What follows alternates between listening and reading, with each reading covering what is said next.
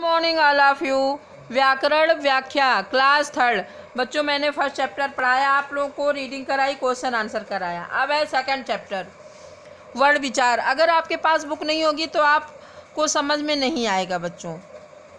मेरी पढ़ाई निरर्थक हो जाएगी। आप बुक ले लीजिए, ताकि आपकी पढ़ाई अच्छे ढंग से हो सके और आप इसको अपने कापी में भी लिखिए और याद करते रहिए। वर्ण किसे कहते हैं? वर्ण क्या होता है, बच्चों?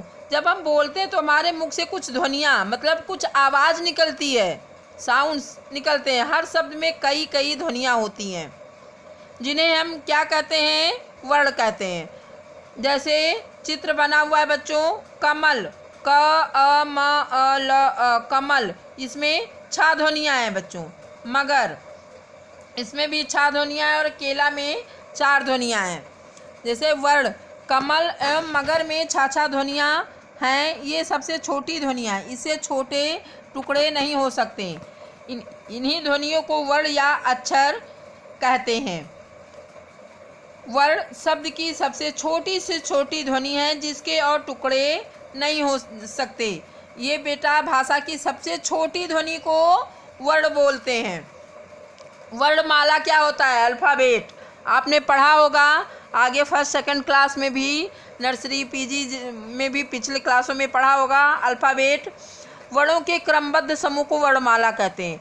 बच्चों, अगर वर्ण हो, लेकिन वो क्रमबद्ध ना हो, व्यवस्थित ना हो तो उसे हम वर्णमाला नहीं कहते। वो कोई सार्थक शब्द नहीं निकलते। जैसे, आ के बाद बड़ा, आ ही आएगा छोटी, के बाद बड़ी, ई ही आएगी, इसी क्रम में ही लिखने को हम वर्णमाला कहते हैं। वर्णों के क्रमबद्ध, क्रम मीन्स लाइन से सीक्वेंस से लिखना है। व्यवस्थित रूप से लिखने को वर्णमाला कहते हैं। हिंदी वर्णमाला में कुल उनचास वर्ण माने जाते हैं। हिंदी वर्णमाला के को दो भागों में विभाजित किया गया है। स्वर और व्यंजन। जो वर्ण किसी अन्य वर्ण की सहायता के बिना बोले जाते हैं, उन्हें स्वर कहते हैं। हिंदी वर्णमाला में ग्यारह स्वर हैं। आ से अ तक को हम स्वर बोलते हैं, बच्चों। स्वर के कितने भेद होते हैं? स्वर के दो भेद होते हैं हस स्वर और दीर्घ स्वर जिन स्वरों के उच्चारण में कम समय लगता है, उन्हें हस स्वर कहते हैं। हस स्वर चार होते हैं बच्चों, आ, ई ऊ तथा री। दीर्घ स्वर, जिन स्वरों के उच्चार दीर्घ मीन्स बड़ा। जिन स्वरों के उच्चारण में हस स्वर से अधिक समय लगता है, उन्हें दीर्घ समय कह सॉरी दीर्घ स्वर कहते हैं। दीर्घ स्वर सात होते हैं, आ, ई ऊ ए, आए, ओ तथा आओ। व्यंजन। जो वर्ण स्वरों की सहायता से बोले जाते हैं, उन्हें व्यंजन कहते हैं। बच्चों, व्यंजन बिना वर्ण की सहायता के नहीं बोले जाते ये स्वतंत्र नहीं होते हैं, जबकि वर्ण स्वतंत्र होते हैं, उन्हें बोलने में किसी वर्ण किसी की सहायता नहीं लेनी पड़ती है। हिंदी वर्णमाला में अतिरिक्त व्यंजनों के साथ व्यंजनों की कुल संख्या पैंतीस होती है। ये हैं का से, क, ख, ग, घ, अंग च छ ज झ ट ठ न, प, फ भ म, य, र, ल, व श ख श ह।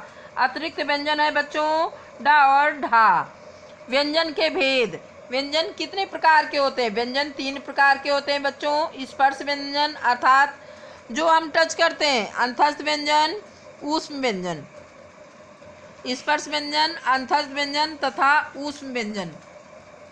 स्पर्श व्यंजन किसे कहते हैं? जिन व्यंजनों के उच्चारण में जीव मुँह के किसी न किसी भाग को छूती है, उन्हें स्पर्श व्यंजन कहते हैं। स्पर्श व्यंजनों की संख्या पच्चीस होती है बच्चों। इसको पाँच वर्गों में बांटा, विभाजित किया गया है। का वर्ग, चा वर्ग, टा वर्ग, ता वर्ग तथा पा वर्ग। का वर्ग में काखा गगा अंगा, चा वर्ग में चाचा जजाइया टा वर्ग में टठा डडा अड़ा ता वर्ग में तथा दधा ना पा वर्ग में पा फा बा भा मा। अंतस्थ व्यंजन क्या होता है बच्चों? जिन व्यंजनों के उच्चारण में मुँह के किसी भाग से जीभ पूरी तरह स्पर्श नहीं हो पाती या जीभ बहुत ही हल्का सा स्पर्श करती, उन्हें अंतस्थ व्यंजन कहते हैं। अंतस्थ व्यंजनों की कुल संख्या चार है। या लावा ऊष्म व्यंजन। ऊष्म मीन्स गर्म होता है बच्चों, गर्म। जिन व्यंजनों का उच्चारण करते समय मुख से गर्म श्वास बाहर निकलती उन्हें ऊष्म व्यंजन कहते हैं। ऊष्म व्यंजनों की संख्या चार है। शाखा, शाहा। संयुक्त व्यंजन। संयुक्त मीन्स होता है मिलना, मिलाकर, जो होते हैं छात्रा ज्ञा और श्रा, दो दो दो व्यंजनों के मेल से बनते हैं। ये अकेले नहीं बन सकते बच्चों, इसलिए इन्हें संयुक्त व्यंजन या संयुक्ताक्षर कहते हैं। ये अपने में पूर्ण नहीं होते, ये इस प्रकार होते हैं। छ, का प्लस खा। ये बिना का के नहीं बन सकते बच्चों। इन अक्षरों से मिलकर ही छा बनता है जिसे त्रा, ता, प्लस रा त्रा बनता है, ज प्लस इया ज्ञा और स्रा प्लस, सा प्लस रा, स्रा बनता है। अन्य व्यंजन क्या होते हैं बच्चों? हिंदी भाषा में डा और ढा को अन्य व्यंजन कहा जाता है। इनका प्रयोग शब्द के प्रारंभ में किया जाता है, में नहीं किया जाता है। इनका प्रयोग बच्चों शब्द के प्रारंभ में नहीं किया जाता है, जैसे पेड़। इसको हम आगे नहीं लिख सकते मतलब शुरुआत में नहीं लिख सकते। ये गलत हो जाएगा, इसका कोई सार्थक अर्थ नहीं निकलेगा बच्चों, जैसे पेड़, सड़क, पकड़, आ, कंकड़।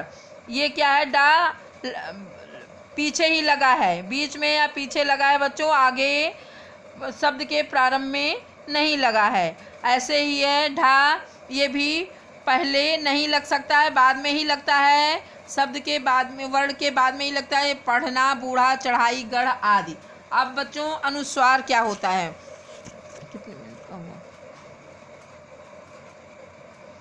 अनुस्वार क्या होता है बच्चों? किसी स्वर के ऊपर जो एक बिंदु लगाया जाता है, उसे अनुस्वार कहते हैं। अनुस्वार का उच्चारण नाक से होता है, जैसे अंग, कंस, रंग, संग आदि। बच्चों, आप बुक लेंगे तभी आपके समझ में ये आएगा। अनुनासिक किसे कहते हैं? किसी स्वर के ऊपर जो चंद्र बिंदु लगाया जाता है, उन्हें अनुनासिक या विसर्ग या विसर्ग कहते हैं। अनुनासिक का उच्चारण नाक और मुँह से होता है, जैसे दांत, पाँच, हंस, चाँद आदि। विसर्ग, उसे अनुनासिक ही कहते हैं बच्चों सॉरी किसी स्वर के अंत में जो दो बिंदु लगाते उन्हें विसर्ग कहते हैं। विसर्ग का उच्चारण हा के समान होता है, जैसे दुख, अतः, प्रातः सनय सनय आदि। हल, चिन्ह या हलंत प्रत्येक व्यंजन के उच्चारण में आ की ध्वनि छिपी रहती है। आ के बिना व्यंजन वर्ण का उच्चारण संभव नहीं है। जिस प्रकार क, खा के नीचे लगा चिन्ह, हलंत है, इसका अर्थ है कि ये आ रहित हैं। का, खा आदि व्यंजनों के हलंत हट जाने का अर्थ है कि वे क प्लस आ, ख प्लस आ आदि हैं। हिंदी की वर्णमाला आ सहित ही बोली जाती है, जैसे क, ख, ग, घ आदि। इसमें स्वर छिपे होते हैं बच्चों, जैसे क प्लस आ, ख प्लस आ, ये बिना आ के बिना स्वर के नहीं बोले जाते ये व्यंजन है बच्चों, व्यंजन स्वतंत्र नहीं होते हैं। बच्चों, मैं बता रही हूँ, आप इसको फिर से रीडिंग करिएगा और समझिएगा। आपके जो ना समझ में आए, आप ऑफ़िस से मेरा नंबर लेकर मुझसे व्हाट्सअप या कॉल डायरेक्ट कॉल कर सकते हैं और कोई प्रॉब्लम हो वो पूछ सकते हैं। अब नेक्स्ट वीडियो में बच्चों, मैं एक्सरसाइज कराऊँगी। और आशा करती हूँ बच्चों, आप लोग घर पे बैठकर पढ़ रहे होंगे और अच्छे तरीके से अपनी पढ़ाई को आगे बढ़ा रहे होंगे। थैंक यू बच्चों।